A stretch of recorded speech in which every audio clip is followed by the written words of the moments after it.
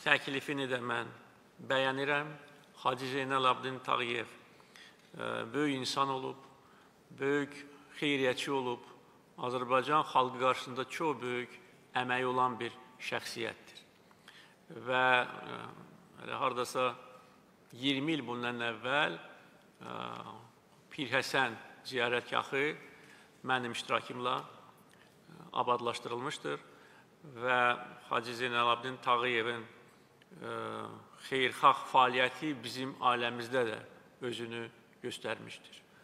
O vaxt e, mənim babam Əziz Əliyev ona məktub yazmışdır və xahiş eləmişdi ki, ona pul versin ki, getsin həkim peşəsinə yiyələnsin.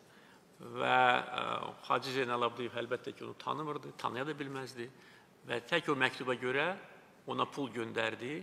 O pulla da Əziz Əliyev getdi Sankt Peterburqda hərbi tibbi akademiyasına daxil oldu, həkim oldu.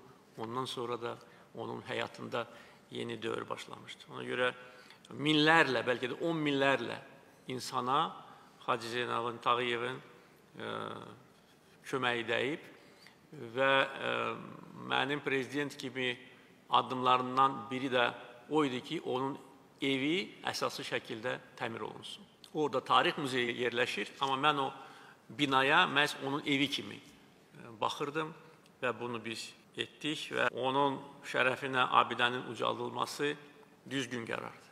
Və əgər Bəhram sən də burada fəal iştirak etsən, çox yaxşı olar, təkliflər hazırlayın və ümumiyyətcə mən sənin fəaliyyətini izləyirəm. Sən yəni şəhərimizin inkişafı ilə bağlı, tarixi mirasımızın qorunması ilə bağlı çox fədakar iş aparırsan.